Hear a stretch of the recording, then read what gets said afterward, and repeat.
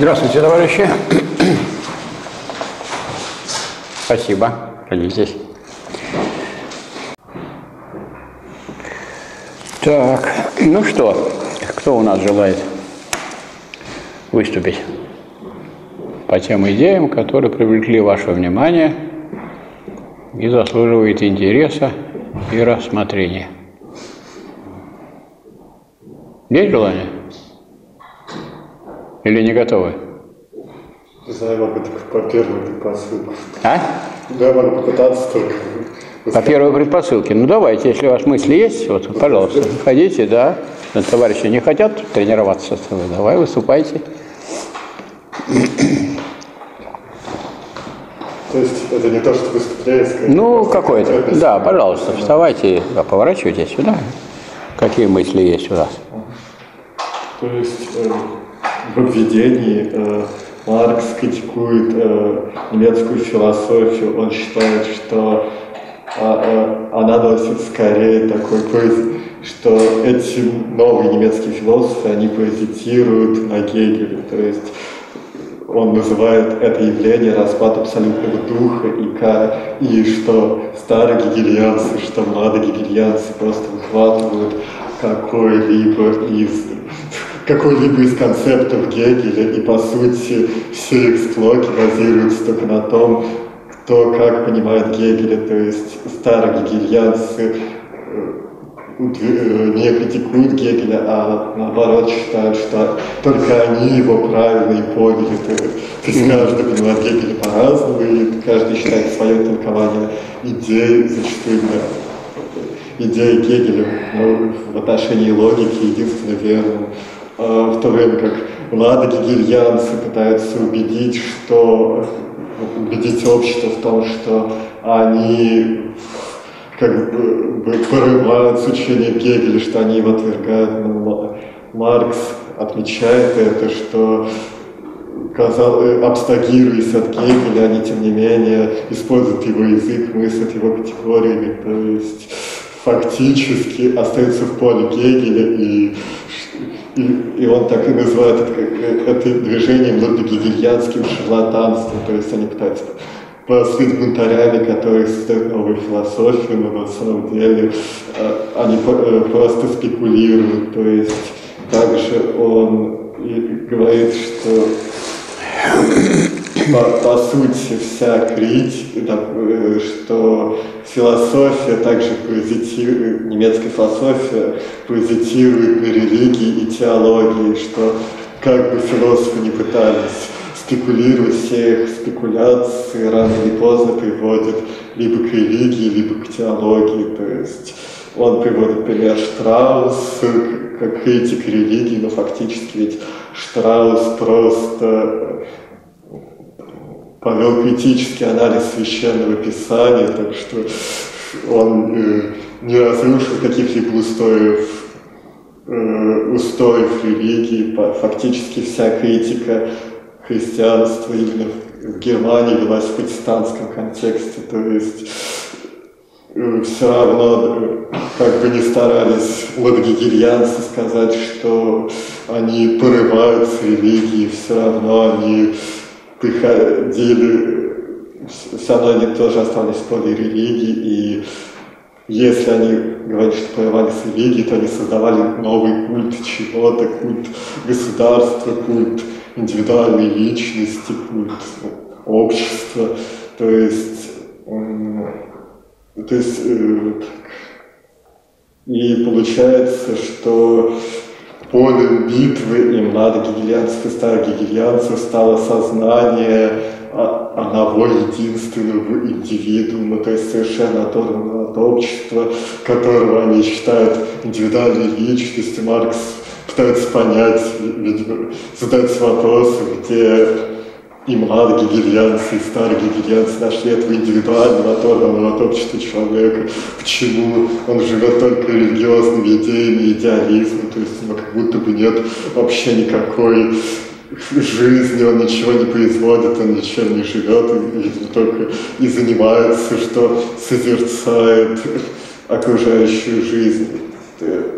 Он говорит, что все свои революционные преобразования в области философии Младогигельянс называют борьбой против фраз. Но он говорит, что фактически, Маркс говорит, что ничего, собственно говоря, не изменяется, и что, говоря, Младогигельянс, когда говорит, что борются против ложных или неправильных фраз, фактически просто придумывают новые фразы и занимаются тем же самым умосозерцанием, мудрствованием, иногда просто каким-то словоблудием.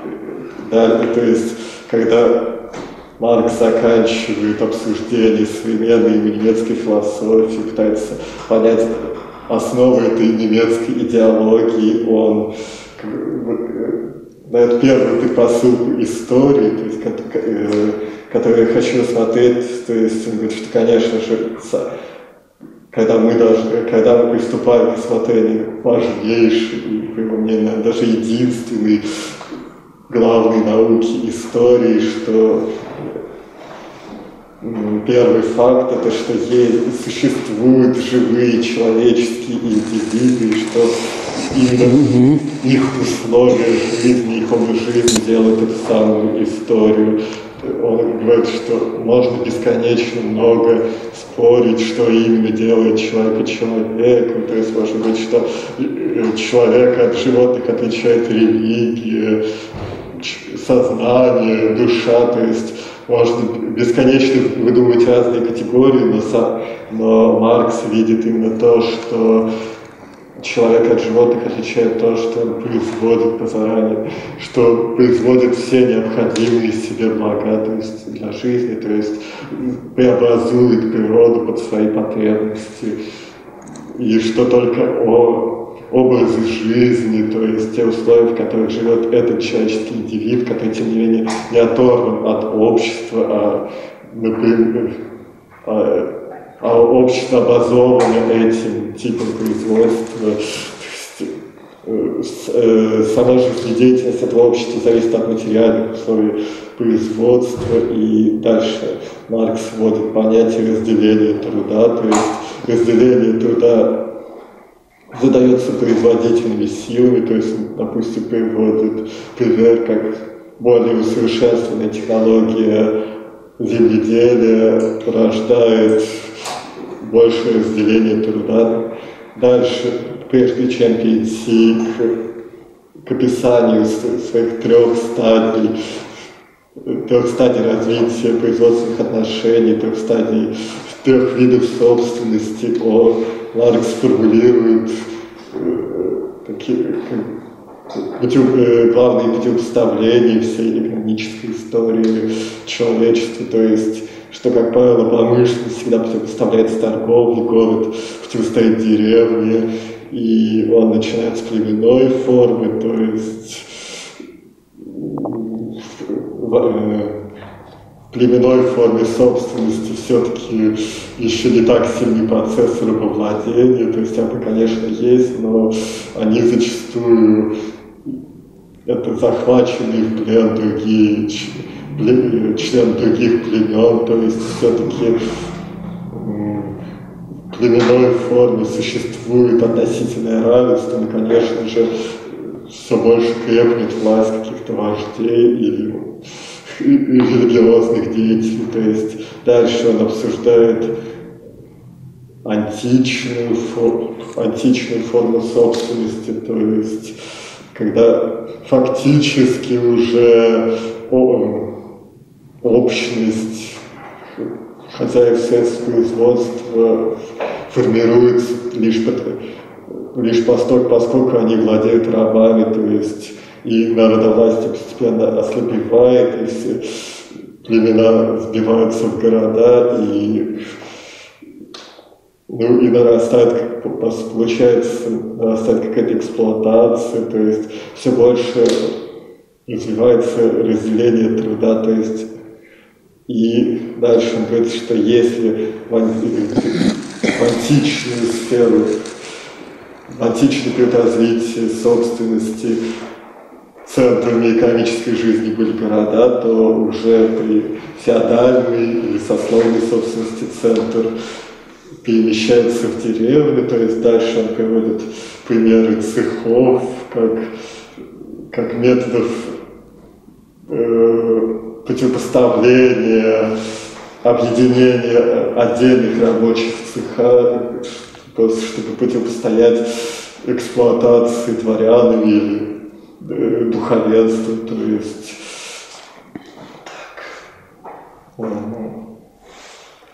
Ну, приведя эти э, три эти стадии развития собственности, он э, дает заключительные тезисы, то есть говорит, что, конечно же, только условия условия жизни в этом обществе, в этом государстве, природные условия влияют на жизнедеятельность человека, формируют его образ жизни, но он э, но также Маркс говорит, что помимо сфер материального производства, который подобно смотрел, существует и сфера духовного производства, и что он как бы протестует против того, что э, религии, идеологии, мораль и другие учения философ, философ созерцательного типа, э, они относили их, как бы считали их продуктами продуктами умственной деятельности одного единственного человека. Маркс утверждает, что и религия, и мораль, и идеология диктуются только условиями производства, условиями жизнедеятельности, и что, они, и что только человек, который живет в коллективе, является их обладателем. То есть, ну, и прежде чем перейти к рассмотрению истории более подробно, он говорит, что то есть, что современная ему немецкая история состоит из каких-то абстракций. Он говорит, что, конечно, абстракции очень полезны для науки, потому что они позволяют как-то обобщить сходные термины, но э, абстракции должны служить истории, а не история должна служить абстракции, что историки не должны под, под своей теорией подгонять историю, что прежде всего и история – это не история каких-то отдельных людей, которые что-то сделали. Конечно, надо помнить великих деятелей, то есть тех, кто остался в истории, но все-таки прежде всего человеческая история – это история коллективов, история производства, история э, человеческого развития. Спасибо большое. Значит, что я могу сказать? Мне кажется, что Олег Смоленков правильно понял, так сказать, свою задачу. Задачу свою не как единичную, а задачу, которая вот у тех, кто изучает этот курс. То есть надо постараться глубоко разбираться не не в том, что просто написано, а в проблемах, которые здесь ставятся, и в путях их решения. Во-первых, видно, что э, вопрос подготовлен и есть соответствующий текст, но мне особенно приятно констатировать, что он не читал, а излагал, и для того, чтобы, так сказать, может быть, не сбиться, и время от времени обращался к этому тексту, это совершенно нормально. Я наблюдаю тут в течение уже многих лет картину прямо обратную. Основная, даже выпускники, тогда, когда они рассказывают свою работу выпускную, ну вот я, правда, тем, кто у меня был, я им строго-настрого сказал, чтобы ничего не читали и не доказывали, что вы как Брежнев умеете прочитать. А, как правило, вот люди зачитывают, и получается, что э, нету вот такой уверенности, ну, твердости в усвоении, потому что если человек усвоил, то он может говорить ну, не по тексту. А текст ему нужен для того, чтобы он в нужный момент обращается и что-то цитирует оттуда, что-то использует или э, берет оттуда некоторую логику. У меня единственная претензия к Олегу, что он берет одну книгу, а ссылается только на одного автора. Все-таки у автора было двое – Маркс и Энгельс. Причем мы не можем сказать, что вот Маркс больше автор, чем Энгельс, потому что вообще, если вы начнете смотреть собрание сочинений, оно начинается не с работ Маркса, а с работ Энгельса. Первый том – это положение рабочего класса в Англии – Это там, где вопрос о производстве вот Энгельсом был поднят, и он изучал это производство изнутри, изучал положение людей в этом производстве, положение рабочих, причем специально поехал в страну. Он был человек не бедный, как я уже говорил, папаша у него был фабрикант, он оставил красное вино, салонные разговоры и отправился в самую передовую страну тогдашнего мира, в Англию, чтобы в ней посмотреть, а как живут те, кто создают материальное благо. Это вот такой том. Вот он, так сказать, человек молодой, ну вот где-то, я думаю, в таком же возрасте, как здесь присутствующий, который поставил такую крупную задачу перед собой, что она, эта задача его, сделала крупным человеком, крупным ученым. И это повлияло на Маркса. Маркс после этого понял, что надо заниматься политэкономией. Прежде всего убедил Энгельс Маркса, что если вы не будете изучать производство, а Маркс к тому времени, он уже имел докторскую по философии, он сравнивал философии Эпикура и Демокрита в своей докторской. Ну, докторская это вот по нашим меркам российским, это кандидатская была по философии у нас. Вы знаете, что доктора иностранные сплошь и рядом это на уровне вот нашей кандидатской диссертации. Вот. Так что, конечно, э, если мы ссылаемся на какое-нибудь произведение, ну, второго автора мы не можем выбрасывать никак. Ну, это вот, я думаю, такая э, техническая поправка, не более того. А в принципе, вот тот подход, который Олег применил, он ну, соответствует тому, что надо. Есть такие возможности, и надо попытаться излагать и о серьезных вопросах говорить. Вот слушая его выступление, его доклад, я пришел к выводу, что вот то, что он говорит, очень актуально сейчас. То, что сейчас в философии происходит, а в этом смысле философия не сдвинулась. Вот та же расстановка, которая есть. Есть философы, которые обсуждают вопросы только в мире самой философии. И получается, например, тот же самый известный философ Бадью доказывает и пишет, что вот я в своей книге доказал, что философия не умерла. Нам вот она в голову даже не приходит, такая мысль. А вот он считает великой заслугой своей, что он, видите ли, заявил публично, смело, что философия не умерла. И ничего там, так сказать, такого в этой книге Бадью, какое-нибудь развитие или продвижение, углубление нет, потому что это вот то, что мы наблюдаем в очень многих. Выхватывание тех же самых категорий. Вот э, экзистенциализм. Есть наука логики Гегеля. В ней есть три книги. Учение о бытии, учение о сущности и учение о понятии.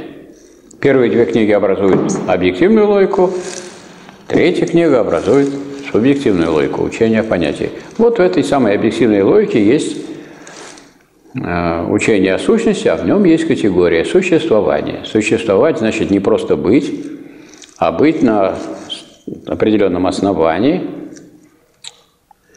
на определенном основании и э, в определенных условиях.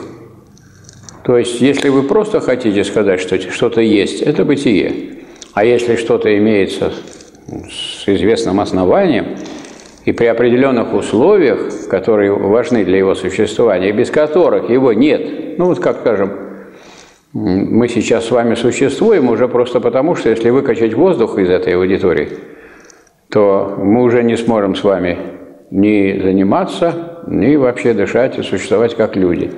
Скажем, существование людей неразрывно связано вот с воздухом. Но, как тоже Маркс и Энгельс, идут дальше и говорят, что существование людей связано с материальным производством. Для того, чтобы вообще они могли какими-то духовными вещами заниматься, независимо от того, какие у них там между собой споры и какие они идеи одни другим противопоставляют, а они должны добывать средства к жизни. Причем, если одни не добывают средства к жизни, то за них это должны делать и делают другие люди. Такого не бывает, чтобы кто-нибудь был бы свободен от средств существования. Скажем, что такое вот, э, скажем, люди, освобожденные от производительного труда, их, вот мы с вами освобождены от производительного труда. Я потому что я преподаю и нахожусь в сфере сознания, в сфере бытия, общественного бытия, И вы, потому что вы сейчас обучаетесь и тоже находитесь в сфере общественного сознания. А что такое высшее учебное заведение? Это заведение для тех людей, которые освобождены на известное время, то на 5 лет освобождали, это была подготовка специалистов, теперь на 4, с предложением, кто хочет, вы еще два годика позаниматься, у кого есть деньги на это существование. Не все родители имеют средства существования, и не все те, кто поступает э, в магистратуру, могут без родителей это потянуть. Поэтому я вот наблюдаю, ну как преподающий на втором курсе магистратуры, то приходит то один, то два, то три, а максимальное число их пять или семь вместе во всей группе так, магистратуры вот, конфликтологов. И такая же картина во всей стране. Есть единственный вуз сейчас, это Московский государственный университет, который э, довел ну, число мест в магистратуре до числа людей бакалавриат заканчивающих. И там, получается, 100 человек закончилось, 100 человек пошли в магистратуру. У них получилось не ухудшение, а с пятилетнего обучения перешли на шестилетний. И все. И это, конечно, прогрессивно. Но это исключительно единственный вуз у нас в России на сегодняшний день. Это первое. То есть, и вот, э, поскольку речь идет о существовании, есть вот целая теория. Экзистенциализм. То есть взяли у Гегеля категорию существования, и из этой категории навели, так сказать, одну только вот из этой одной категории сделали целую философскую конструкцию. Эта философская конструкция, она важна и хороша чем? Тем, что она подчеркивает эту категорию, что она делает ее важной, все, значит, пишут о существовании, но если вы оторвали от предшествующего, от движения к этому существованию, от других категорий, то вы не можете осознать, в чем смысл этой категории. И оторваны от последующего. Поэтому взятое само по себе ну, оно представляет собой некое духовное явление, что вот есть люди, которые будут заниматься только говорить об одном, о существовании.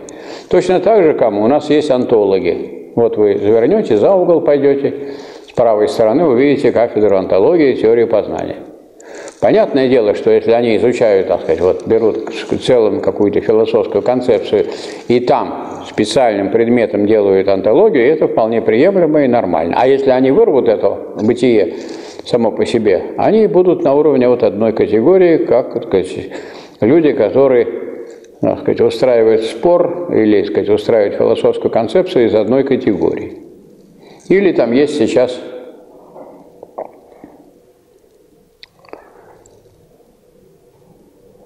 такие течения, которые ну, проявляются в конференциях такого рода, как философия молчания – вот если вы молчите, значит, вы о чем-то думаете. А когда вы молчите, а когда вы не молчите, и почему вы не молчите, а сейчас молчите. И можно на эту тему тоже навести целую философию. А есть философия жеста. Какие бывают жесты? Такие бывают жесты, такие бывают жесты, такие бывают жесты. Самые разные жесты. И можно, и это действительно э, имеет место в жизни, но вот через этого делается некая философия, она отрывается от реальной тоже действительности и представляет собой некоторые построенные умственные конструкции, не более того. Герменевтика – это что такое? Вот у Гегеля написано «понять» – это что такое? Понять, как вы считаете, что такое понять? Товарищ Ларина, понять, что значит? Не знаете? А? Постичь основной смысл какого-либо понятия. Постигнуть смысл.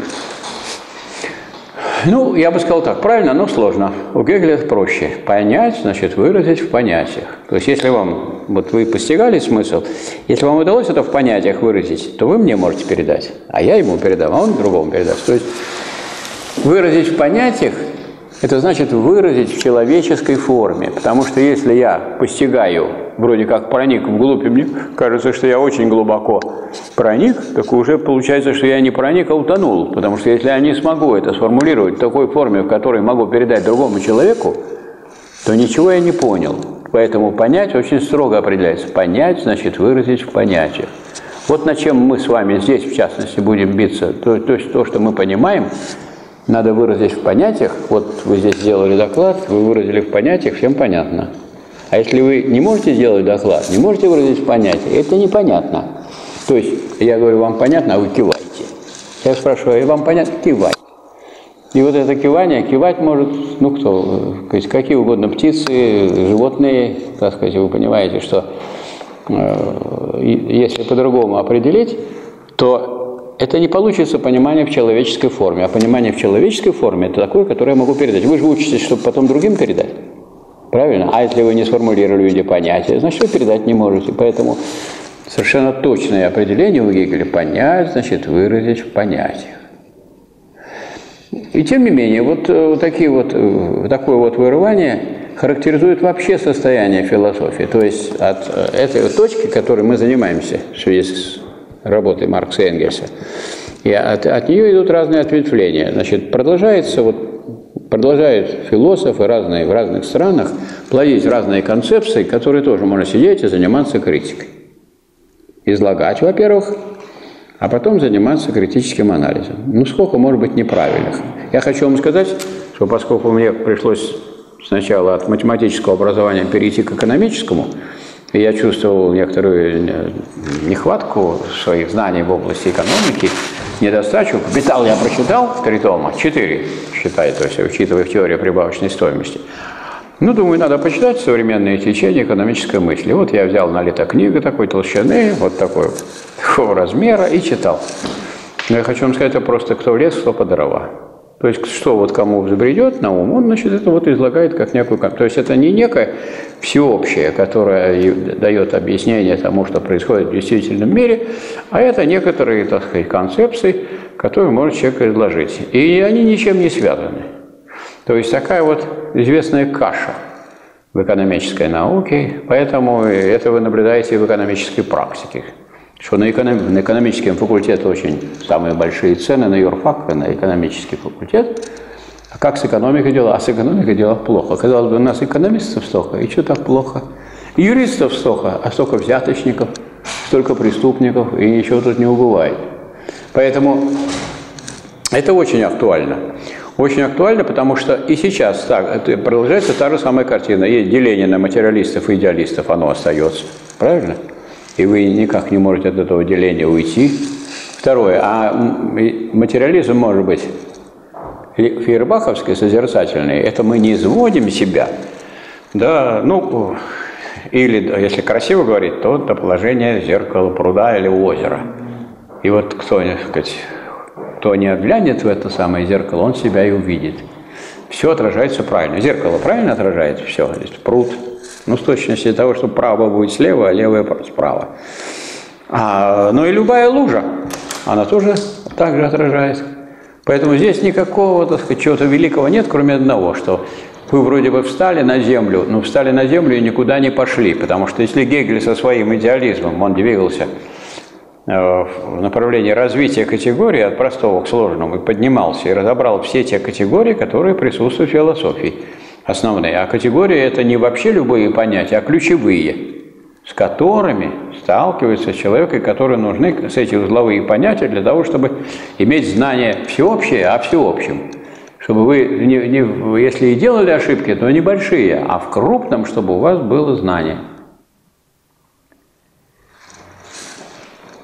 Поэтому следующий шаг тоже такой естественный, который, сказать, вот здесь, в этой работе делают Маркс и Энгельс, они этой работой себя вытаскивают, оттаскивают от младогегельянства, они были, но это люди, которые изучили Гегеля и знают его. Это не то, что люди отторгли его и выбросили. Они его не отторгли, не выбросили, наоборот, они его потом всю жизнь ну, сказать, дальше защищали от тех, кто его пытался третировать как мертвую собаку. И поэтому они и говорят, что вот эти новоявленные философы, которые говорят о том, что они там что-то новое сделали, они вытаскивают, выхватывают, как будто они вот пришли на могилу Геккеля, и кости у него вытаскивают, отдельные кости, и с этими костями и ходят. То есть они ничего такого фундаментального не создали. Почему? Потому что от Гегеля уже дороги к идеализму нет никакой новой, потому что вы можете быть снова идеалистом, но это будет повторение. Потому что есть субъективный идеализм Беркли, что есть только я, и вас нету, а вы мои органы э, ощущения, и больше никто, и вы меня не опровергнете. И он довел это до вот такой ну, красивой картины, что э, вы можете это и принять, но тогда это будет считать, что вот если вы приняли позицию субъективного идеалиста, для, кроме вас никого нет. А и я – ваше ощущение, и он, и она, и, и помещение – это ваше ощущение, потому что раз все идет через ваши органы чувств к вам мозг, то вы можете считать, что все вот на ваших органах чувствах и заканчивается. Потому что, а как доказать, что есть еще что-то? Вы же все равно это будете доказывать через ваши органы чувств. Поэтому вот такая позиция, она логически неразрушима. То есть, если вы твердо на этом стоите, то все. То есть, в этом смысле конец классической немецкой философии. Конец. В том смысле, что если мы хотим пойти дальше, даже недостаточно вот материализма Фейербаха. Вот первый раздел здесь Фейербах. И долго занимается Фейербахом. Почему? Не потому, что они согласны с Фейербахом, а потому что Фейербах, подчеркивает Маркс Энгельс, он сказать, сделал такую великую работу. Он способствовал тому, чтобы перевернуть понимание и вместо идеалистического понимания мира встать на материалистические позиции. Но его слабые материалистические позиции, поэтому его критикуют не с точки зрения, что вернись назад, а как пойти вперед. А чтобы пойти вперед, нельзя ограничиться просто одним, что вот есть материя, а все остальное – это есть отражение этой материи. Там сознание есть отражение материи. А как, э, сказать, вот это вот непосредственно применительно к обществу человеческому? Что это означает? А применительно к человеческому обществу совершенно правильно было подчеркнуто в докладе, что надо взять индивидов не просто как отражающих, не как зеркала, а как тех, кто преобразовывает ту самую действительность, которую они отражает. А как, а в чем это выражается? А прежде всего в том, что каждый живой индивид должен поддерживать себя живым. А чтобы поддерживать себя живым, надо, а, производить таких же людей, ему подобных, это называется у Энгельса производство непосредственной жизни. И в это производство непосредственной жизни входит и производство людей, то есть рождение и воспитание людей. Иначе человечество умрет вместе со всей философией и очень быстро. И, во-вторых, производить средства для жизни, потому что если не будет средств для жизни, которые позволяют есть, пить, одеваться, иметь крышу над головой, если не будет этого, то ни о каком развитии человечества, ни о каком развитии духовного мира и говорить нельзя будет. Это и в дальнейшем проявляется в том, что понятие, скажем, у Маркса свободного времени. Вот что такое свободное время? Вы не задумывались над тем, вот что такое свободное время? Но это вы понимаете, что я вопрос задал вам, что не просто вы скажете, вот там время, которое я что хочу, то и делаю. Вот, наверное, что-то большее я требую, правильно? Что такое свободное время? Время свободное Это время? Свобода от материального производства. Это, так сказать, как, это правильное э, высказывание, но как определение недостаточное. От материального производства свободное, в этом смысле мы с вами находимся в сфере свободного времени. Правильно?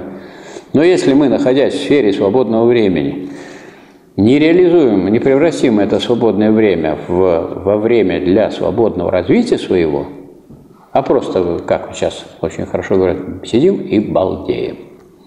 Ну, если вы балдеете, то вы превращаетесь в балдо. Кто такой балда? Балда – это деревянный чурбан.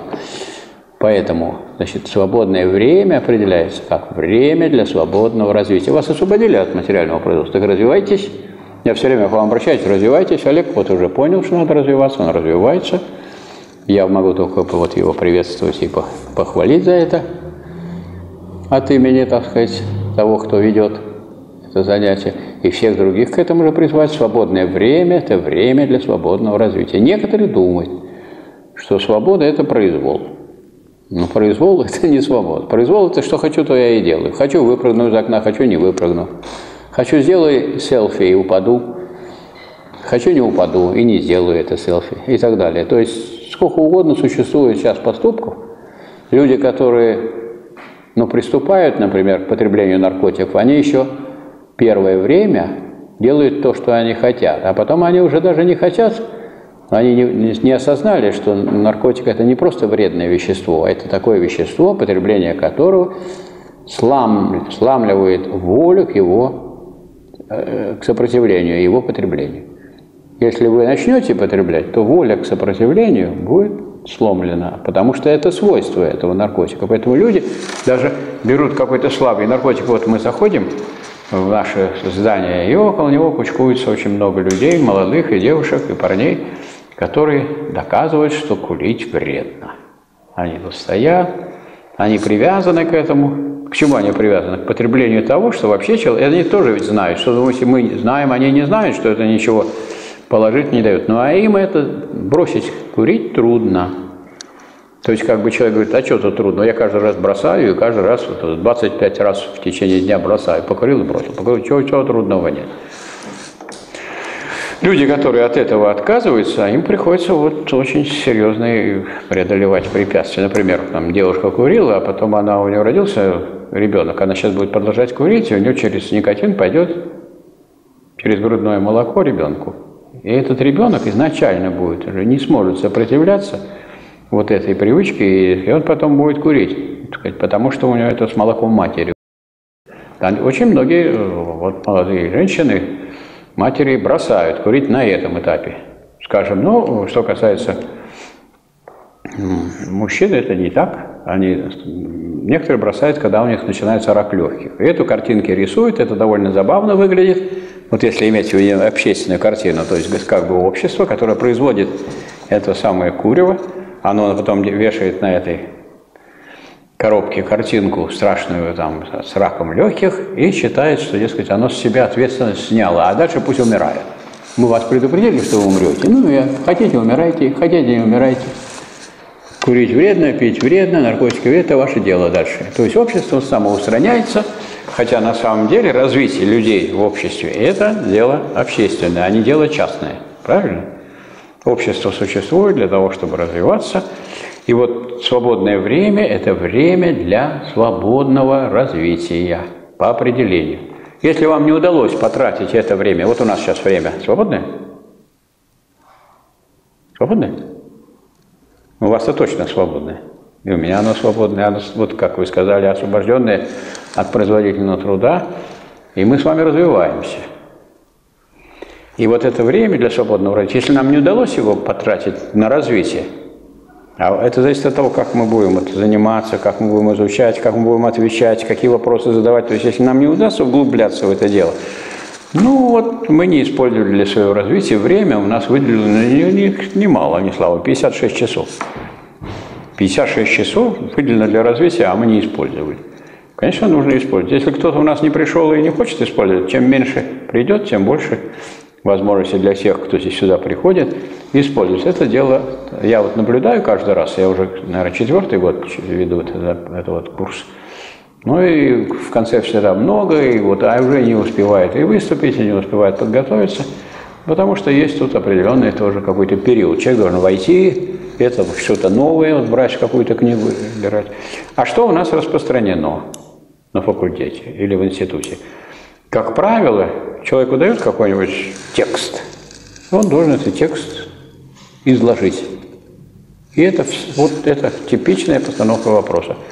Ну вот если бы я, скажем, предложил вам только излагать текст, это что такое? Это ну, демонстрация того, что у вас есть память, и вообще, что вы можете написать изложение. Вы в каком классе писали изложение? В шестом. Бегло уже писали, правильно? В шестом классе. И вот я тут, вот мы с вами устроили как бы картину, сидит, значит, преподаватель, профессор, доктор наук философских, есть студенты с третьего курса, и они показывают, студенты показывают профессору, что они могут писать изложение. Ну, это смешно. Поэтому мне бы не хотелось проверять, что вы э, можете написать изложение, потому что это вы, ну, раз вы сдали аттестат зрелости сюда, ну, считается, что вы это умеете. И вот люди, к сожалению, сплошь и рядом я это наблюдаю, и вот они начинают курсовые, дипломные, все вот в этом ключе. Повторять, излагать то, что они прочитали. Ну что, что прочитали? Ну, вообще, вот, вон целая библиотека академиков. Если я все прочитаю, что там есть, и все смогу изложить, кто я буду? Давайте доведем до, до, до предела это.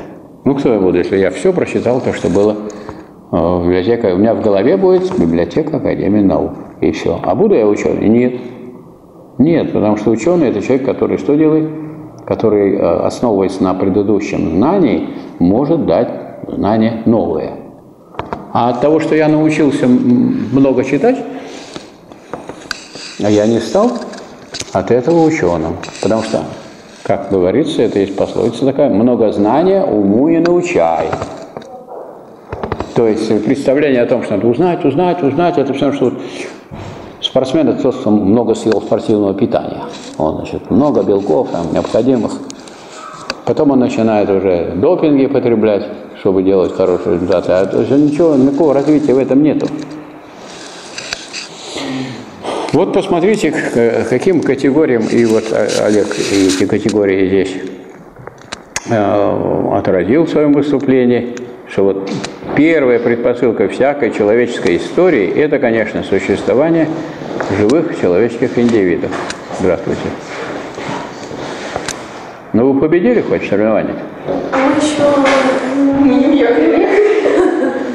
Ну, как здорово. Мы еще когда в четверг. Когда? В четверг. Через Четверг?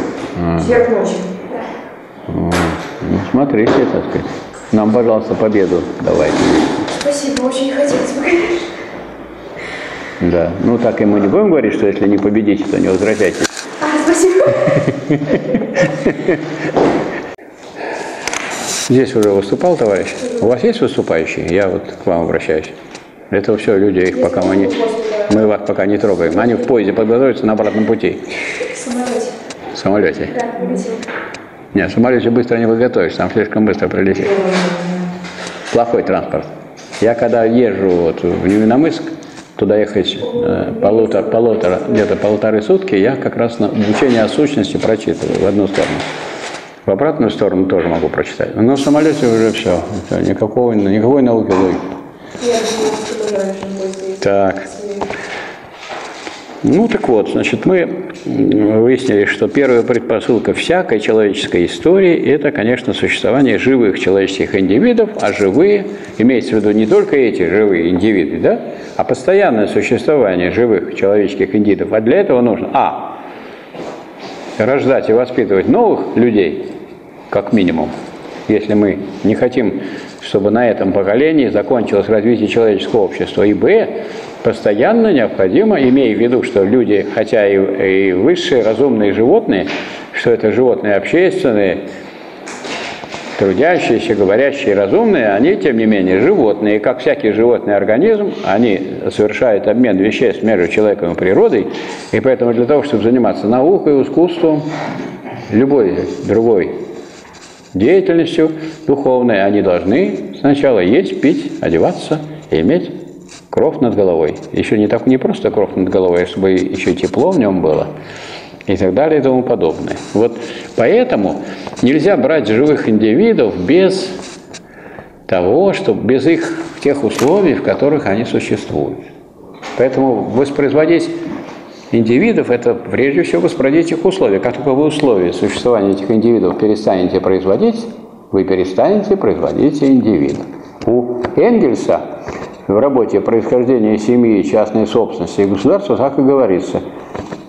В основе человеческой истории лежит производство и воспроизводство непосредственной жизни.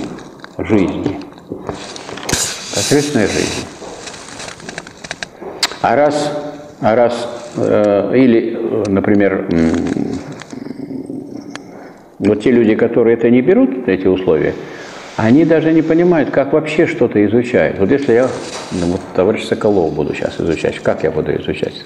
Ее само по себе. Раз. Вот этим все и заканчивают, как правило. А что значит само по себе? Вот разглядывать, с ней разговаривать. Так? А второе. А разве не существенно, э, что она продукт от таких-то родителей, какие-то люди на нее повлияли? Так, какие-то люди сказать, отдали ей часть своей души и так далее, что в ней проявляется и так далее. Это же очень важно. То есть надо, в каких обстоятельствах это было, какой у нее вот жизненный путь. Это важно же или нет? Или это там, сложный, несложный? Вот какой он, к чему он способствовал и так далее. Но это все равно полдела. То есть как на нее влияют остальные люди. Вот как вы, вы, вы и так далее. И пока мы не изучим, как на нее повлияли остальные люди, мы ее изучаем ну, очень сугубо недостаточно. Более того, Если мы изучили, как на нее влияет, и изучили, кто она сама по себе, а что не надо выяснить, а как она проявляет себя вовне, то есть она как, как она относится к другим людям, что она делает, да, как она относится к, к, там, к природе, к обществу, к своим товарищам и вообще к, э, ко всему, что есть в обществе. Без этого можно считать, что человек понят? Нельзя. То есть вместо вот такого узкого понимания схватить человека, вырвать из контекста, как бы из всех обстоятельств, надо как раз взять все обстоятельства его жизни, потому что вот Гегель говорит, что условия, они входят в сущность, только они здесь во внешнем виде таком. Они входят в сущность человека. Это не, не что-то внешнее, а это сущность, просто она представлена таким внешним образом. Но они, без человека без этих условий не существует. Более того, если созданы все условия, чего-нибудь, какой-нибудь сути дела, то она вступает в существование. Например, вот вы хотите участвовать в соревновании, если у вас уже это, это сделано, это сделано, это подготовлено, это подготовлено, то вы и победите. А если вы не победите, значит вы чего-то не подготовили. Правильно? Логично? Поэтому думать, что вот, мы, сказать, мы настроены на победу. Да хорошо, все настроены. Неужели кто-нибудь настроен на поражение? Нет, это все настроены. Но надо видеть, что это вот большая работа, и ведь каких... Прямо у Гегеля написано учение о сущности, когда для какой-нибудь сути дела созданы все условия, она вступает в существование. Вступает. А у Энгельса другое говорится, что вот идея приходит тогда, в силу отставания сознания от бытия, когда уже для нее, для ее реализации, имеются материальные условия – или они находятся в процессе становления. Это люди думают, что они вот уже открыли вот сейчас, а уже, оказывается, вся предшествующая история подготовила дело к тому, что как только вы это сформулируете и говорите, я хочу начать это реализовывать, внедрять, уже для этого внедрения есть уже условия в силу отставания сознания от бытия. Или, говорит Энгельс, они находятся в процессе становления. То есть вам немножко придется и подсуетиться самой. А не так, что вот все условия созрели, и вам только, значит, собирай и глотай. Нет, вам придется что-то еще сделать, побороться. Но для этой вашей борьбы уже есть условия. Раз к вам такая идея пришла, знаете, значит, уже есть условия для ее осуществления. И иногда вот кажется, ну, такое никто никогда не напечатает, ну, никто никогда не примет. Вот мы две книги писали с деканом экономического факультета Николаем Андреевичем Моисеенко. Вот. Одна книга называлась так «Демократический централизм. Основной принцип управления социалистической экономикой». Издана в 1975 году в издательстве Ленэздат тиражом 15 тысяч экземпляров. Сейчас это какие-то тиражи запредельные, потому что 500, если сейчас издадут кому, тот безмерно счастлив. Дадут 15 тысяч. А в следующем году мы в издательстве «Мысли» издали книгу «Теория воспроизводства и управления социалистической экономикой». Вот мы в этих двух книгах подвергли э, критике, ну, очень жесткой и всесторонней, сторонников рыночного социализма. И казалось, это невозможно, такое никто не опубликует. Но как выяснилось, что условия к тому времени созрели таким образом, что именно как раз тогда, когда мы их написали, эти книги, когда мы писали, мы не задумывались, публикуют у нас, не опубликуют, потом мы отнесли в редакцию, и там взяли, и там взяли, и э, мы еще получили гонорары и за первую, и за вторую книгу. Вот сейчас попробую получить гонорар. Сейчас надо заплатить за книгу, чтобы ее издали. А о гонораре даже разговора не идет. То есть вы, если к вам идея пришла, смело продолжайте ее развивать, потому что для нее есть уже условия, или они находятся в процессе становления, то есть надо еще доработать. Вот это очень важно. И люди начинают отличать себя от животных, как только начинают производить необходимые средства к жизни. Вот это самое главное. Никакие животные, вот люди, например, пока не оторвались от животного мира, они ходили и собирали орехи. А что вы думаете, белка не собирает, что ли?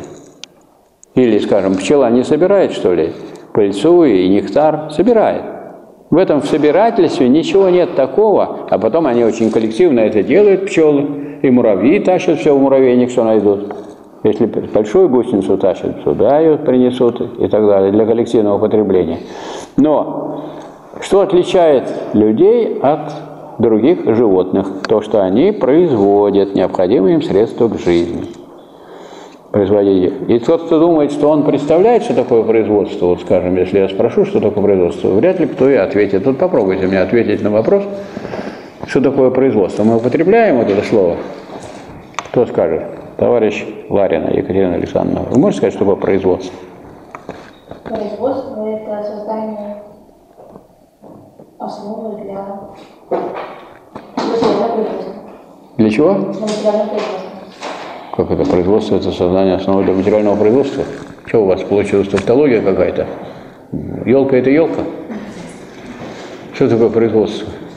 Я вас предупредил, это не, я вам, так сказать, не, не факт, что вы ответите, потому что это вот кажется простой вопрос. А вот здесь производить курсивом написано. Вот люди, мы не умеем это делать, хотя вы знаете, например, если вы пишете курсовую работу, если возьмете там вот наклонный шрифт, раз нажмете, и у вас будет слово выделено. Почти не выделяют, обычно, так сказать, это. а вот люди, так сказать, такие продвинутые, они выделяют. Производить это что-то вот особое, производство это что-то особое. Вы отличаете производство от труда? Труд может быть результатом или результатом. А производство – это что-то положительное. Это положительная категория. Вы не можете сказать, что такое производство? Ну, я вы вы понимаете, что вы, вы же не в таком состоянии, что вы не слышали такое слово. Это вот тот случай, когда, про который Гегель говорит, что известное еще не есть от того познанное.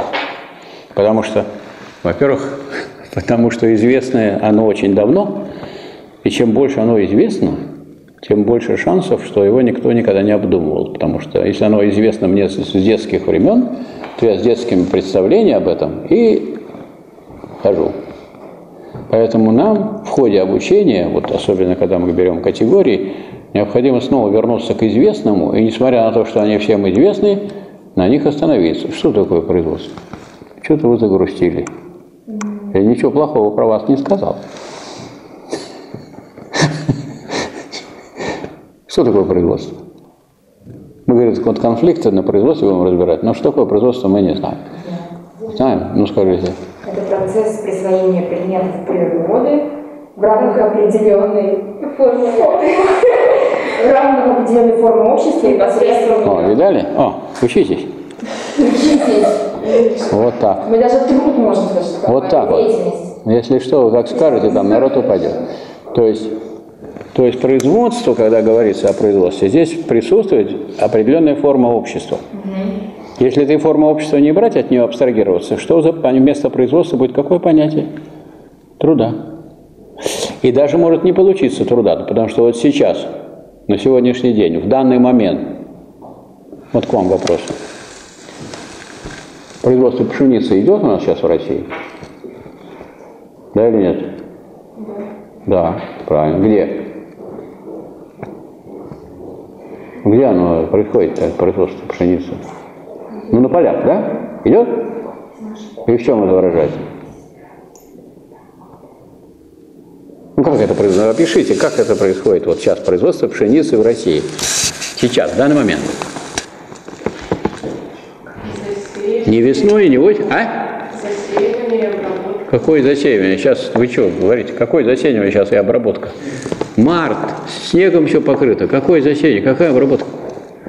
Я спрашиваю, сейчас вот идет производство пшеницы, да или нет?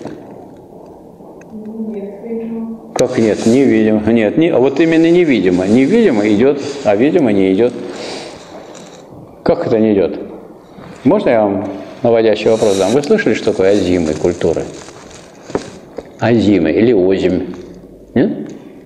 Вот вы в октябре пойдете в поле, в октябре. Куда у нас пойдешь в поле? За город пойдешь, там нет такой, не слыхано, не видно никакой пшеницы. Пойдете в поле, и вот вы видите поле изумрудно-зеленое. Там вот стоит, только не стеной пшеница золотая, как в песне поется, а пшеница вот такая, по размеру. 10, 15, 15 сантиметров, зеленый изумрудный ковер. И это взошли озимые. Озимые. Когда они всходят, озимые культуры? Когда их сеют, вы же затронули, сеять надо, и, соответственно, выращивать. Когда их сеют озимые культуры, в каком месяце? Вон они все знают, они все готовы. В каком? Что в каком? В каком месяце озимые культуры? В каком месяце? Сеют, сеют озимые культуры. В каком месяце? А, э, весна. Здравствуйте. Ну, здравствуйте, там еще если не весна, то осень. Молодец. Молодец. С логикой у нее хорошо. Отлично она сделала. Ну, раз вам не устраивает вас весна, значит осень. Осень. А месяц? А месяц Ой, я какой? знаю точно. Какой? Ноябрь. Да ладно, уже в Значит, ноябре сентябрь. морозы. Вы чего? Сентябрь. Не, рано еще Значит, сейчас. Все слишком Ну, тепло. Октябрь. В сентябре еще убирают кое-где. В октябре спашут, засеют, пойдут дождь, дождичек пойдет, будет их поливать. Вот то, что нам плохо, как людям, вроде бы у нас вот будет дождик, октябрьская погодка не очень, да?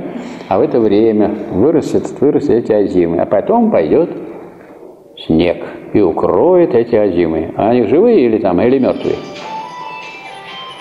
Живые, правда? И вот они сейчас живут, вот сейчас озимы сейчас растут, растут.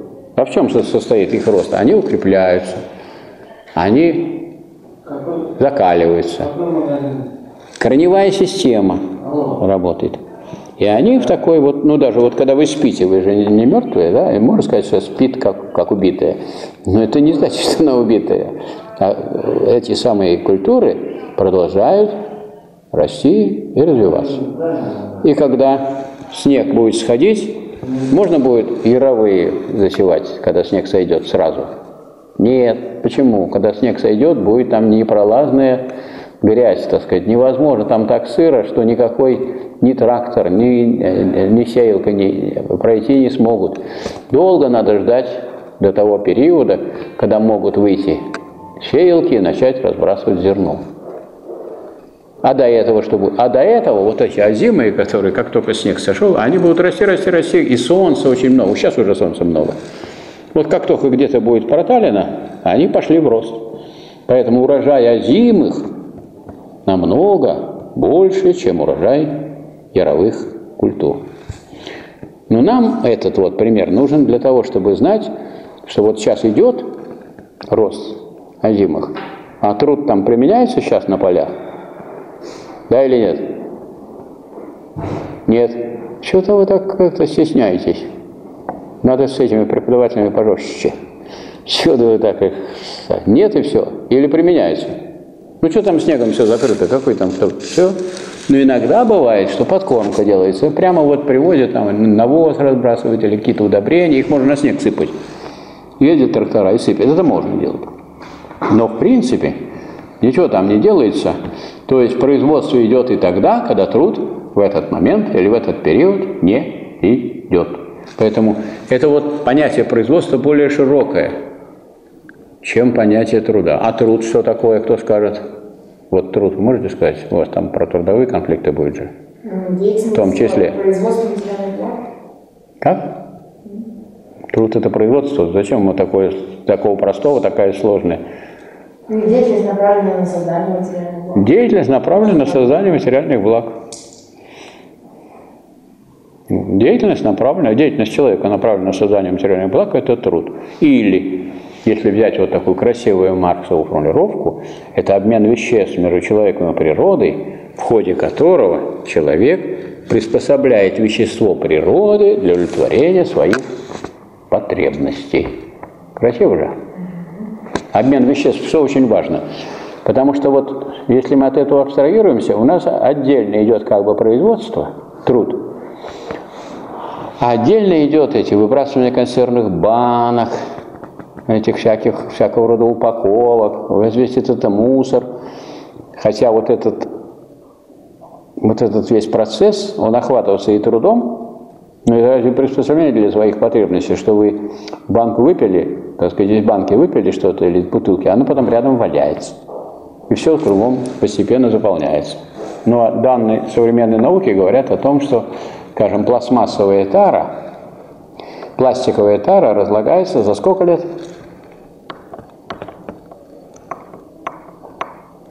Ну вот, видели пластиковый стаканчик, да? Ну куда он поедет? Вот в буфете дали вам пластиком, так, любят вилки пластмассовые, не металлические, которые помыли, они остаются. Дескать, как это вам дать студентам? Они зарежут же преподавателя, если дать. Наверное, решили не давать. Давайте им дадим пластмассовые ножики, тогда не удастся зарезать. Куда? Сколько, сколько лет нужно, чтобы эти пластмассовые ножики, вилки, стаканчики, сколько, чтобы они? 200 лет. Полиэтиленовый мешочек, который все время вам дают в мешках, в мешках, в мешках, в мешках. Заодно, чтобы вы не смотрели, что там в мешке, а то увидите, что помидор гнилой. А в мешочке вроде хорошо. Домой принесете, а уже поздно идти назад. И радовались, как дети, что вот, дескать, было в кульках бумажных, а кулек бумажный, ну, он в течение года уж точно разложится, правда? Что с бумагой? Бумага же делается из чего? Из деревесины. Поэтому она превращается сказать, в удобрение для, для ведения сельского хозяйства. А это что? А это отрава, которая 200 лет будет, и потом всякие возгорания бывают на этих самых больших помойках. И вот они там вместе с пищевыми отходами все эти смешанные, представляете собой нечто зловредное, некое месиво, которое есть дело рук человеческих, туда же вывозят и так далее. Во Франции, например, уже запретили всю пластмассовую тару. Дескать, если давать, то в бумажных стаканах, там, бумажные тарелочки. Тарелочки, что бумажные сделать, что пластмассовые. Разница в том, что бумажные, они вам ничего не сделают, они пропадут, истлеют. А эти точно не пропадут. Мы умрем. Дети наши умрут, внуки наши умрут, внуки наших внуков умрут, а они еще будут валяться. Эти все штуки. И это стало огромной проблемой, вплоть до того, что вот мы, прежнего главу нашей администрации, товарища Иванова, Сергея, который из нашего университета, он филфак кончал. Филфак, потом ФСБ, потом глава администрации. А вот, а теперь его на борьбу с этим загрязнением отправили. Ну, это потому что загрязняют все, а как с этим бороться, это большая проблема, потому что это надо бороться с этим изначально, что производить. Скажем, вот эти все стеклотара, это вообще не загрязняет никак природу. Более того, для того, чтобы производить стекло, в печь, где плавится стекло для новых, там, новой посуды, нужно до трети объема загрузить стеклотарой, битым стеклом, до трети. Но, а само по себе оно абсолютно нейтрально, то есть стекло не зреет. Но если его не, не бить, то тоже связано с культурой известной. Значит, если это разобьют, везде будут у вас на пляже будут эти самые обломки стекла, это страшное дело. Вы пойдете в воду, а выйдете, так сказать, с кровавой раной. Это другая уже проблема. Не, не загрязнение среды, а опасность вообще для человека. То есть вот когда мы рассматриваем производство, здесь много проблем возникает. То есть производство – это средство для жизни или средство для уничтожения жизни. Желательно, чтобы это не было средством для уничтожения жизни, а все-таки было бы средством для ее улучшения. И вот люди отличают себя от животных, как только начинают производить необходимые им средства к жизни. Производя необходимые им средства к жизни, люди косвенным образом производят и самое свою материальную жизнь. Правильно? То есть надо понимать, что вы производите, вы не вы, человечество производит, потому что у человечества есть разделение труда. Одни производят материальную жизнь, а другую ее поддерживают с помощью тех средств жизни, которые произведены другими людьми. Но без этого, от этого никогда освободиться нельзя. И хотя некоторые думают, что не будет материального производства, но это смешно. Точно так же, как смешно думать, что вы будете э, потреблять в один прекрасный момент э, идею молока и заедать ее идеей батона. Не будет так, потому что это, сказать, вечное условие человеческого существования, вечное условие. И перепутывать материальное производство и духовное не надо. Вот я хочу обратить ваше внимание, в недавнем журнале «Эксперт», вот у меня он с собой, есть большая такая статья по поводу IT-технологий, всех передовых наших технологий, которые связаны с обработкой информации. Здесь колоссальное продвижение, все понимают. Необыкновенное продвижение, когда вы можете разговаривать, как говорится, с любым человеком из любой точки мира, хотите, можете его по скайпу, с ним общаться, видеть его, с, как, с каким он лицом с вами разговаривает, с хорошим, добрым или злым и так далее. То есть колоссальное продвижение. А что это дало производству? А в производстве ми, ми, очень медленные темпы роста производительности, очень медленные. Потому что, скажем, как были станки числовым, числовым программным управлением, бог весь когда, десятилетия назад, так они остаются. Какой скачок в росте производительности труда был при переходе к конвейерному производству, а теперь там, где был конвейер, нет. Вот Кировский завод в свое время имел конвейер большой, там сразу каждый, каждый день сходило 500 тракторов крупных с Кировец с конвейера. И вы идете и смотрите, как они продвигаются. Продвигаются, тут же, значит, их идет их работа, разделение труда. А сейчас нет конвейеров. Сейчас опять какую-то штуку сделали, собрали. Если, скажем, раньше нормальный выпуск самолетов 500 штук гражданских, сейчас 5 сделают. Но если 5 самолетов, одно разорение. Это разорение производить 5 штук самолетов в год. Значит, это все это приспосабливают, какие-то к ним площадки, надстройки, чтобы можно было это делать. Вот такая получается история. То есть вот показывает, э, несмотря на то, что много большой бум вокруг этого всего дела, вокруг таких успехов в области обработки информации, ну вот я могу с помощью этих средств информации рассказывать, каких заводов у нас уже нет. ЗИЛ, где работало 120 тысяч человек, его уже нет. А можно об этом по скайпу сказать, можно по телевидению, можно это в интернете прочитать, можно на YouTube эту информацию поставить, можно по телефону названию через WhatsApp чтобы было из другой город бесплатно, если вы, конечно, платите за интернет. Так? Можете сказать, что вот на Светлане было 40 тысяч человек, они занимались производством электроники, электронных приборов. Женский труд 40 тысяч человек, сейчас 3,5. На Кировском заводе было значит, 35 тысяч человек, сейчас 7,5. Был мощный маш-завод в Выборгском районе, там сейчас расчистили место, дома будут строить поскольку это прибыльное дело.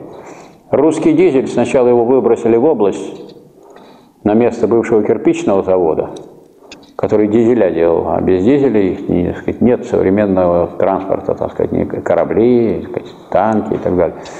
И затем там появился Ford Motors Company на месте этого самого русского дизеля – который э, делает автомобили из американских компонентов, но сваривает и свинчивает здесь, на, на российской земле. Поэтому, значит, труд российских рабочих стал элементарным. Деградировал в этом смысле, никакого прогресса тут нет, потому что вот вы там работаете с правой стороны от, от автомобиля, вы заворачиваете то-то и то-то, прикручиваете. То есть вопрос о производстве очень глубокий. Способ каким люди производят необходимые им средства к жизни, зависит прежде всего от свойств самих этих средств. То есть мы не можем говорить, что это только от людей зависит. То есть здесь и физика, и химия, и все естественные науки, необходимых ими, находимых ими в готовом виде или подлежащих воспроизведению. Этот способ производства – надо рассматривать не только с той стороны, что он является воспроизводством физического существования индивидов, в еще большей степени это определенный способ деятельности данных индивидов, определенный вид их жизнедеятельности, их определенный образ жизни. Вот Олег об этом говорил, и он совершенно прав. А я хочу подчеркнуть, что вот иногда есть, сказать, особенно в области социологии, люди, которые изучают образ жизни в отрыве от производства. А вот что показывает Маркс и Энгельс? Вот этот способ производства – это и есть образ жизни. Потому что образ жизни не выдумаешь его, а он связан с тем, каким образом вы производите материальные блага для своего существования. Поэтому и существует таких образов жизни много. И вот мы знаем, что всего существует пять образов жизни или пять способов производства. Это первобытно-общинный коммунизм, рабовладение, феодализм, капитализм и коммунизм. И все. А если это э, обобщать и группировать, то три. Был значит, коммунизм первобытный, основанный на общественной собственности, потом отрицание этой общественной собственности и, соответственно, рабовладение, феодализм, капитализм, и потом отрицание этого отрицания, а отрицание отрицания есть возвращение к, тому, снова к общественной собственности – но обогащенная всеми теми приобретениями, которые были достигнуты в лоне предыдущих вот этих частно-собственнических формаций. Потому что нельзя вот сказать, что частно-собственнические формации представляют собой что-то отрицательное. само по себе. Они не отрицательны, они это этапы развития человечества, правильно? И раз это этапы развития человечества, то в снятом виде они будут содержаться и в коммунизме. Само вот отделение э, производительного труда рабов от непроизводительного труда ученых, не греческих или римских, оно же шаг вперед или нет? А эксплуатация была, а это отрицательное явление. И надо и брать все это как противоречивое, так таким, какое оно есть. Поэтому можно считать, что вообще три способа всего существует, три способа производства и три, тем самым, образа жизни. Никакие мы выдумаем там, и не украсим мы э, какие-то э, цепи, мы украсим цветами, в которых держали рабов. Никак, как их не украшает, это все равно рабство. И как не украшай крепостничество, если можно было телесно наказывать людей, в том числе женщин, то вот мы, э, так сказать, встречаем в буржуазном обществе 8 марта и рады, что никто сейчас телесным наказанием женщин не подвергает. Более того, они могут, так сказать, написать заявление и поставить в тюрьму, если вдруг такое будет иметь место. Это же большой прогресс. А и совсем недавно крепостного можно было продавать, покупать землей, без земли, семьей, без семьи. И это было ну, какие-то там сто с небольшим лет назад. Или в той же самой дорогой нам судя по тому, как много о ней разговоров у нас в печати, в средствах массовой дорогой нам Америки, когда рабовладение было прекращено? Рабовладение, когда было прекращено в Америке. Кто знает? Это в 1862 веке. Втором? Ну, вот, ну, нет, только, третьем. только после... А, да. А, в третьем юридически, а в пятом фактически. Да? Так? Тысяча. А у нас в России, когда приезжают из Америки, нас начинают учить демократии, то это люди, которые у себя до 63 -го года еще не имели даже закона о уничтожении рабовладения. А у нас крепостничество уже было отменено в 1861 году. Да еще было отменено, ну, к чести надо сказать, вот э, американских капиталистов севера, которые боролись против рабовладения и победили. Какая партия возглавляла? Скажите, пожалуйста. Какая партия возглавляла борьбу против рабовладения? А какая партия была за рабовладение? Вот сейчас а, есть же две партии там. Демократическая и республиканская, чтобы мы их не перепутывали. Демократическая партия за что боролась в те годы? В 1861, скажем, году, когда у нас уже ликвидировали за что? За что боролась партия Обамы тогда? Демократическая. Ну, за или против рабовладения? Ну, это надо знать, нет? Это важно. Иначе как-то мы не очень понимаем эти партии. Ну, и обе эти партии буржуазные. Можно считать, что это одна партия, только из двух голов, двуглавая. Двуглавый орел тоже у них двуглавый орел. У нас двуглавый орел это Путин с Медведевым, а там две партии. Демократическая и республиканская. Но все-таки демократическая это как относилось к рабовладению? Никто не скажет. Демократы за юг, а республиканцы, получается, за север. А? Демократы, получается, выступали за юг, а республиканцы за север. Да, демократы, получается, выступали за рабовладение. Не просто за юг, мы тоже за юг, я хочу поехать на юг, что плохого. А они выступали не за юг, а, а демократы, демократы выступали как партия рабовладельцев. Вот они. И это их, как говорится, история. Их история этой партии. Это партия, которая от этого никогда не отмоется. Что это партия рабовладельцев. А республиканцы 10 раз можете говорить, какие они плохие, и то у них неправильные и нехорошие. Но республиканцы, поскольку они все-таки были вполне буржуазными, как действительные буржуа, выступали против личной зависимости. И если там не крепостное было рабовладение, то все-таки они были против рабовладения. И это, это их исторический плюс. И я могу сколько угодно там не соглашаться с политикой республиканской партии, но от, вычеркивать тот факт, что они боролись против рабовладения. Если у вас есть какие-то заслуги, это можно их потом взять и выбросить. У нас вот существует такой порядок, что вот человек сделал какое-нибудь нарушение, преступление, и его лишают наград. Вот мне кажется, это странно. Вот вы, допустим, что-то сделали хорошее, вас наградили. Второе хорошее, вас наградили. Третье хорошее, вас наградили. Сделали неправильный шаг. Ну вот история у нас одного нашего подводника, да, известного, которая состояла в том, что он в свое время, значит, потопил целый огромный корабль немецкий с подводниками немецкими. А после этого он какое-то там нарушение сделал мелкое. С него там все, все награды поснимали.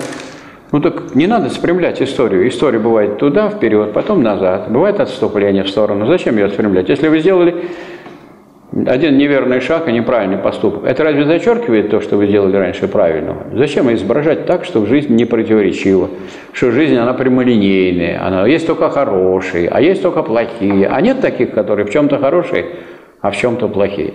Ну, жизнь мы должны брать ее в том виде, в каком она есть. Противоречие, она полна противоречий.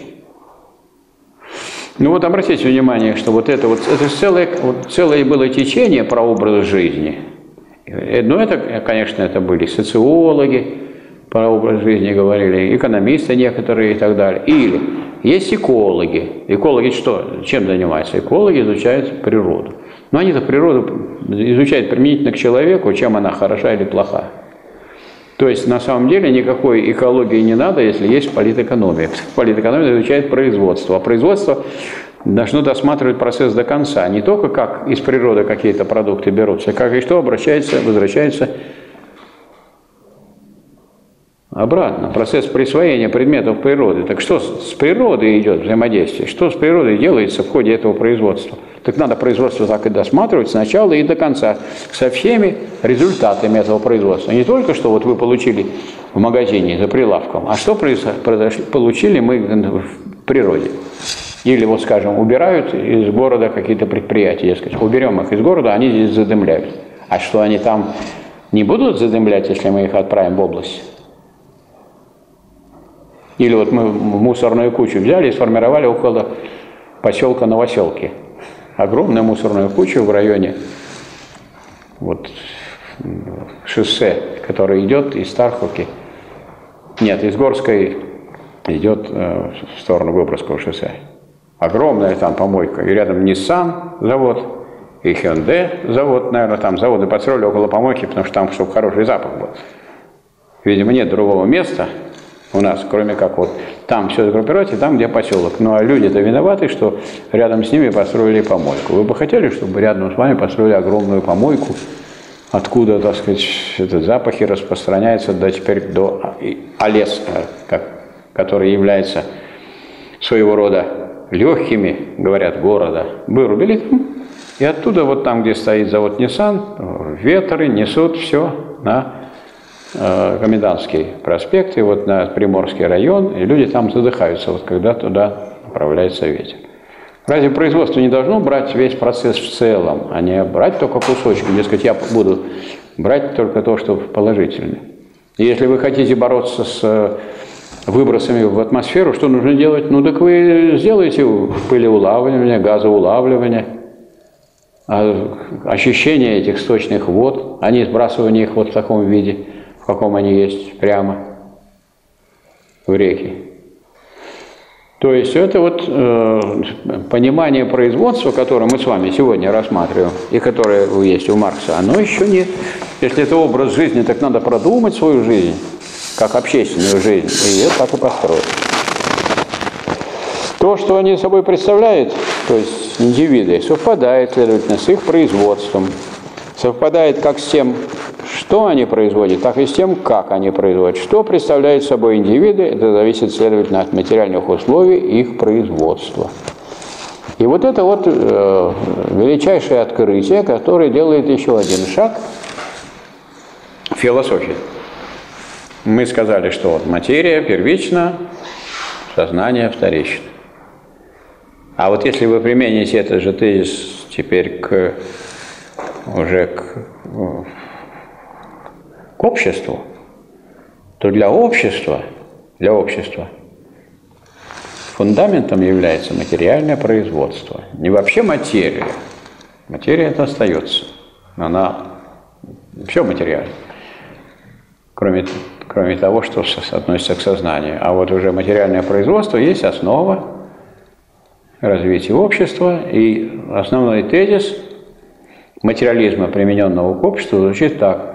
Общественное бытие определяет общественное сознание. Вот какое общественное бытие, то есть какое производство – такое общественное сознание. Это обобщено, вот, вот эти выражения, общественное бытие, это способ производства. Вот способ производства это и есть общественное бытие. Вот способ производства, о котором здесь ведь идет речь, вот этот образ жизни, это и есть материальная основа существования общества. И от этого, от того, какое производство, зависит и общественное сознание. Отсюда и вывод, какое сознание в рабовладельческом обществе. Если общество, если производство рабовладельческое, какое там сознание? И класс господствующий, рабовладельцы, какое там сознание? Антё, вот если вы улыбаетесь, это еще не выразили в понятиях. Это хорошо, что вы улыбаетесь. Бы хуже, если бы грустили. А? Неплохое оно, рабовладельческое. Рабовладельческое, да, надо сказать. Рабовладельческое сознание. Ну, а в феодальном обществе какое сознание? Крестьянское или феодальное? Феодальное. Феодальное распроизводство. Феодальное, значит, и сознание феодальное. А в буржуазном обществе, в котором мы сейчас с вами живем, какое сознание? Такое же. Буржуазное. Как же такое же? Другое уже буржуазное. Уже мы против телесных наказаний, против личной зависимости работников. Как же такое же? Не такое. Прогресс колоссальный. Вот это общественное сознание – оно связано с производством. А производство такое, все, никто ни от чего не зависит. Поэтому никто вам ничем и не обязан. Если у вас есть золотое блюдо, ешьте на золотом блюде. Нет золотого блюда, нам жалко вас. Чернышевский говорил, что каждый может есть на золотом блюде, если оно у него есть. Вот в этом смысл прав человека и гражданина, который э, сформулировано в декларации Великой французской буржуазной революции. Человек имеет право на жизнь, то есть вы родились, это еще мало, недостаточно. Значит, поверите, а право на жизнь у вас есть? Как бы тут под вопросом, как дальше с вами быть? Вот вы родились, говорит, а право на жизнь есть у вас? Странный такой вопрос. Право на жизнь, на частную собственность, на искание счастья. Если вам не повезло с частной собственностью, у вас папа или мама не имеет завода, не имеет фабрики, не имеет корабля. Есть у вас корабль? Нету? Чего-то как-то нет еще корабля. Все мечтаю, что мы поедем на корабле, который будет у студентов. Будем занятия проводить. Уехали бы по Неве, пили бы кофе. Налили бы нам, наверное, по стаканчику, и мы бы с вами так беседовали. Это не противоречит же, да? Ничему. И польза будет от этого всего корабля. Он все равно простаивает. Ну, нету. Значит, право есть, а возможности нет. Потому что права здесь провозглашены. А если у вас нет чего-либо, это о чем говорит? Это вы неудачная, неуспешная. А Абрамович успешный. Он успел, бежал быстро. А вы не, и добежал до общественного состояния, и себе хоп, и теперь у него есть и корабли, и подводные лодки, и то, и что. Или они какие-то великие изобретатели, что-нибудь такое подняли производство, или просто взяли кусок уже действующего производства, хотя оно при этом и упало вниз. Кто у нас такие есть талантливые организаторы производства, как вот, допустим, Ford. Ford – это крупный организатор-инженер, который создал индустрию производства автомобилей как бы с нуля.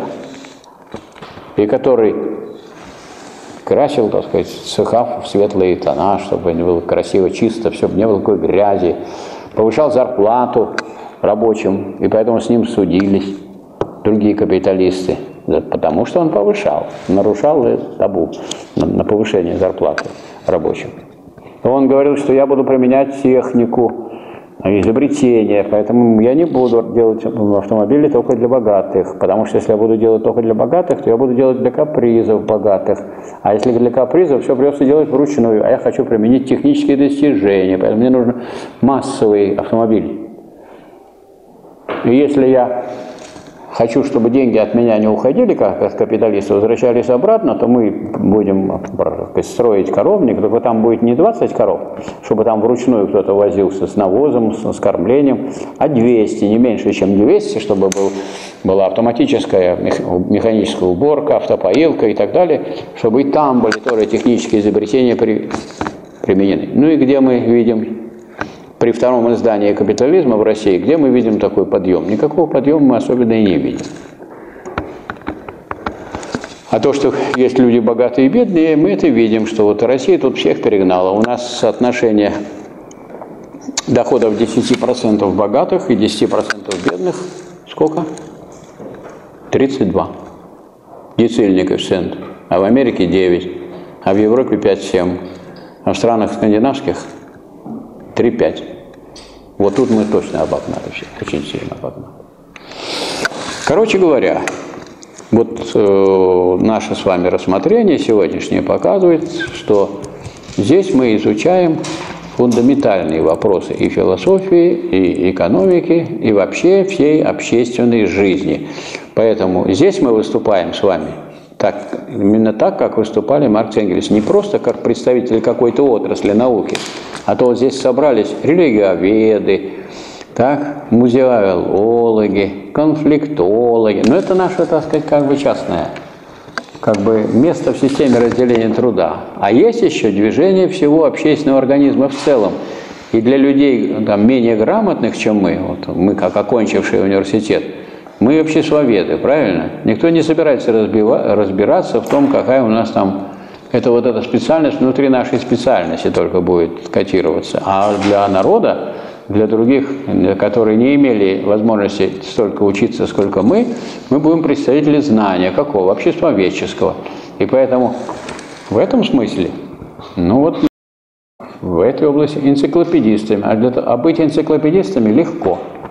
Почему легко? Потому что не надо только абстрагироваться от общих, от общей картины, иначе мы не поймем даже и частности. Чтобы понять частности, надо видеть целое чтобы понять какие-то аспекты человеческого общества, там, скажем, э, религии, конфликты, для того, чтобы понять какие-то аспекты, связанные с э, культурой, сохранение объектов культуры, пропаганда, изучение, распространение и так далее, для этого мы должны понимать само движение общества. Если мы понимаем движение общества, но в этом движении общества мы изучаем вот эту точку, или эту сторону, или этот момент.